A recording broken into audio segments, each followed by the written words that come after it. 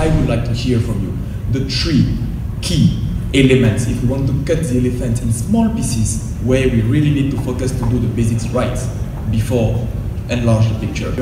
But I would like to hear what are the leaders expecting from us, young African? My question is what are the expectations and views from Africa and India with respect to this conference and what can they do both together to have a successful ministerial conference? Now, with the Africa uh, trade, free trade uh, agreements that came into effect in January last year, the UN is currently estimating that it could boost the intra-Africa trade by 33%. So what are your views uh, of the potential emerging progress uh, should this agreement uh, be implemented uh, to its full capacity or as, as much as possible? And how do you see the role of third parties and key partners to Africa in this context, especially with the interest that we see uh, from the Indian side uh, into, uh, into this agreement. AFCTA, that's the African Continental Free Trade Area, you're absolutely right, it could be a game changer. Um, one of the um, real drawbacks for African trade uh, is precisely uh, what you pointed out, the statistic, you know, about 17% of um, African export is intra-African, uh, uh intra-African trade. And clearly, um, the AFCTA uh, is um, hopefully going to completely change that and um, really deliver development for, for the continent. Uh, for instance, in fact, coming back to the issue of gender uh, uh, aspect, it's really something that we even empower women because, you know, the informal sector of Africa um, is predominated by, by women, actually. And um, so an AFCTA that removes, you know, import duties and, um, you know, another uh, uh, tariffs will now mean that more women are going to be able to be mainstream business-wise, you know, and uh, and empower um, you know African uh, women uh, in, uh, in, in trade, and it's going to lead, to so many you know uh, other benefits, you know, with greater productivity, markets. it'll encourage manufacturing by African countries. India and Ghana have over the years have very good relations. And India has been uh, big brother to Ghana in its development agenda. Um, I would say so far it's been good between Ghana and India. And when you come to Ghana, uh, Indian businessmen and entrepreneurs are all over the place. They found Ghana to be a very conducive country to do business and the government to have been very, very supportive. India, in the course of doing this business, has opened opportunities in financing a lot of projects in Ghana, which uh, a lot of Indian businessmen have taken advantage of, and also um, have diversified into areas where Ghana think it will be beneficial to the country when we have, let's say, external partners or external investors coming in. So to date, India, like I said, has been a big brother. We recognize that relationship. It started all the way in the 60s mm -hmm. during the independence time of the colonials. Mm -hmm. And it has continued. And from the political angle, the line between the two leaders at that time, India has helped Ghana to transform into an economic uh, giant, at least within this uh, West Africa region. Mm -hmm. uh, when you talk of uh, Big Brother Nigeria, uh, the next country that uh, you unfortunately talk about when it comes to industrial transformation with Ghana.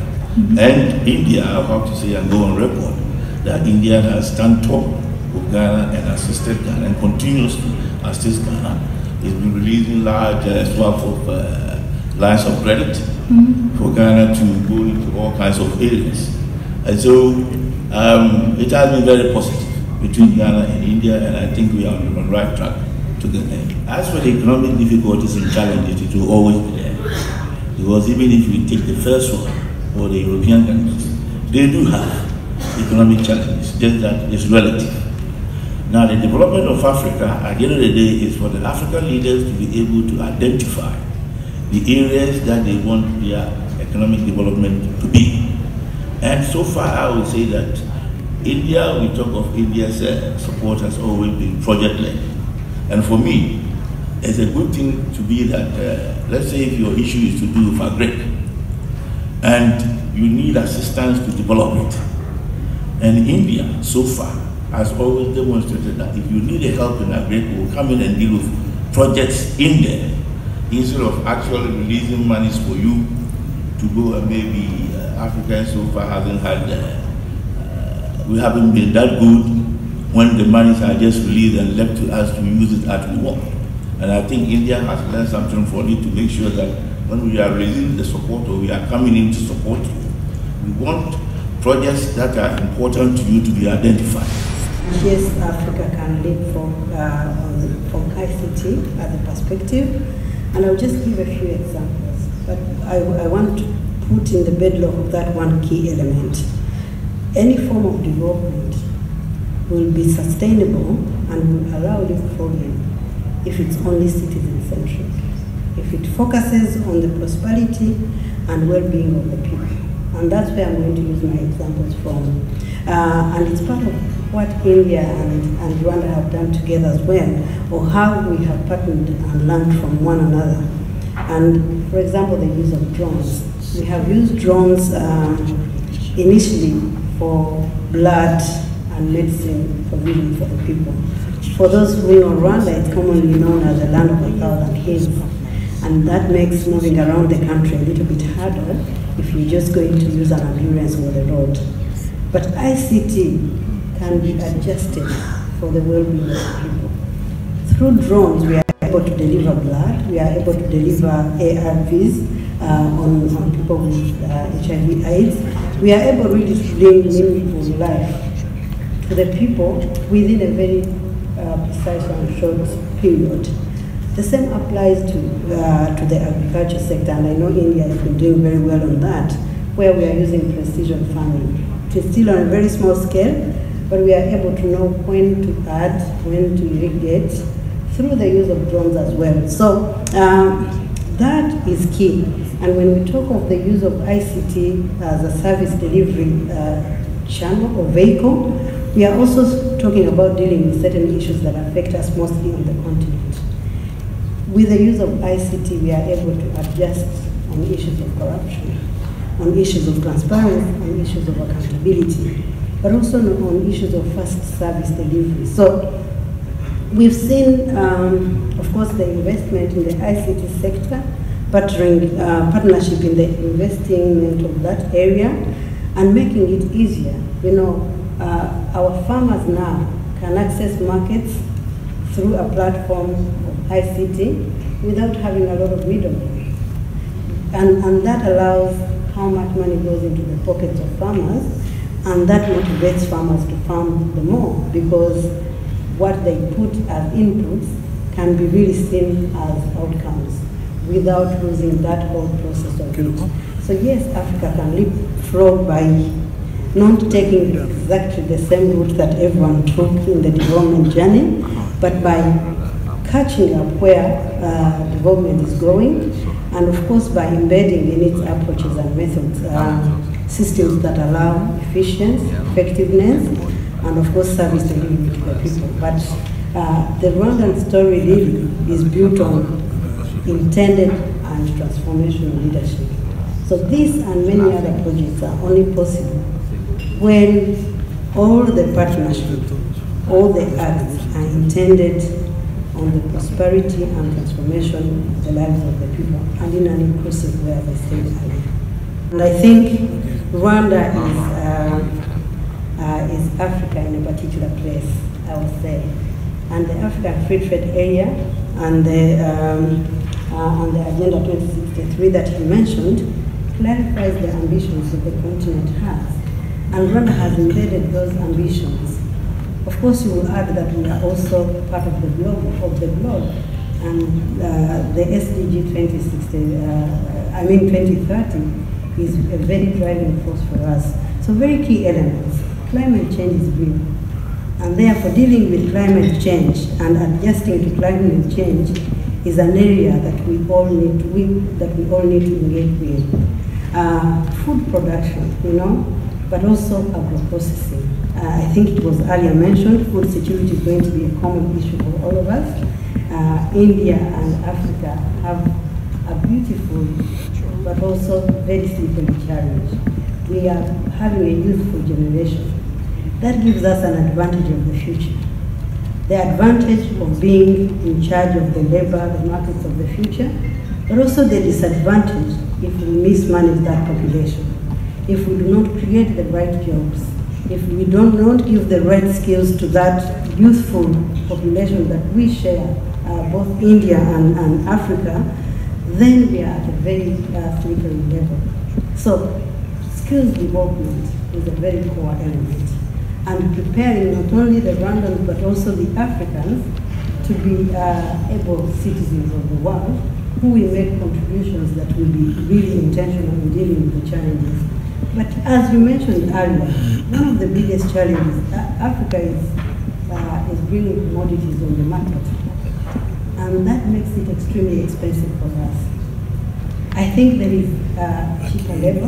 We can build the skills that we need on the continent and do not just make it out of Africa, but also make it in Africa.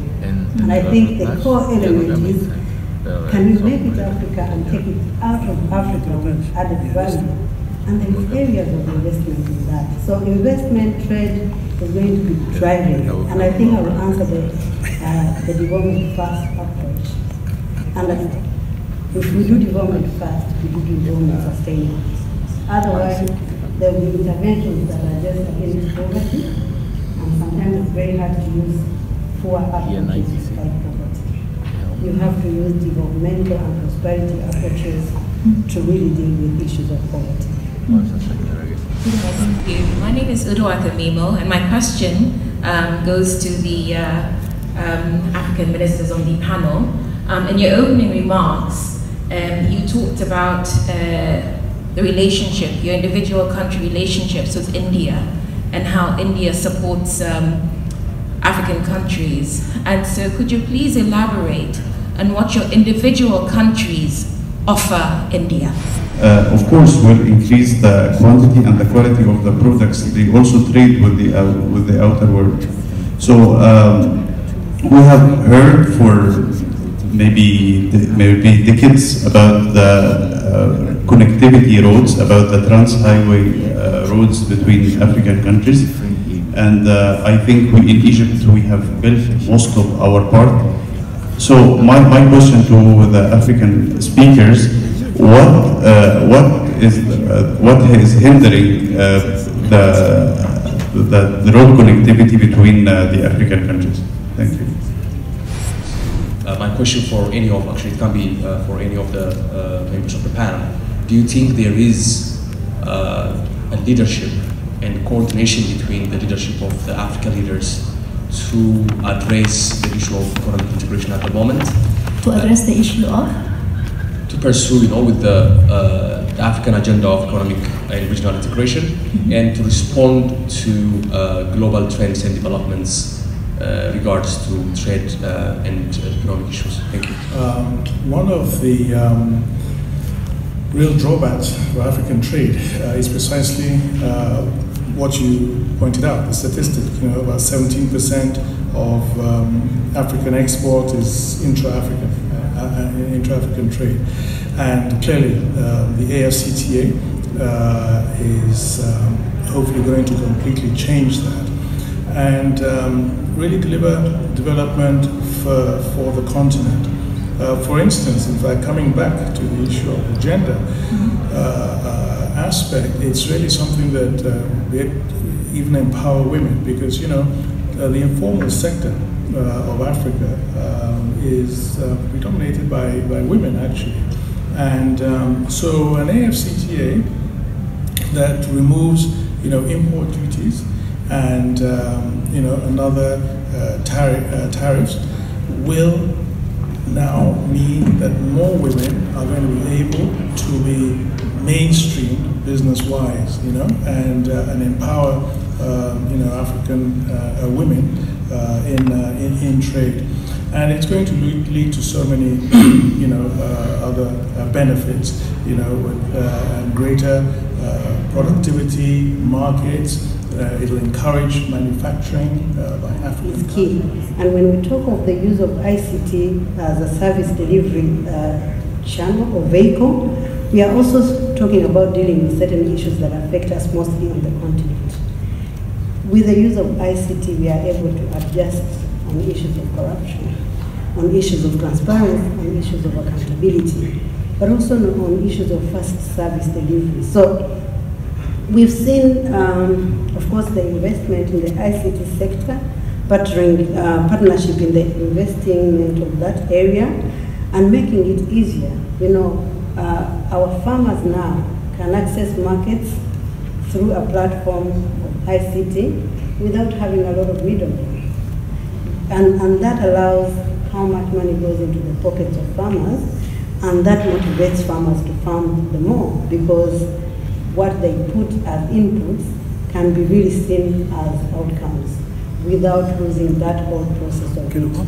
So yes, Africa can leapfrog by not taking exactly the same route that everyone took in the development journey, but by catching up where uh, development is going, and of course by embedding in its approaches and methods uh, systems that allow efficiency, effectiveness, and of course service delivery to the people. But uh, the Rwandan story really is built on intended and transformational leadership.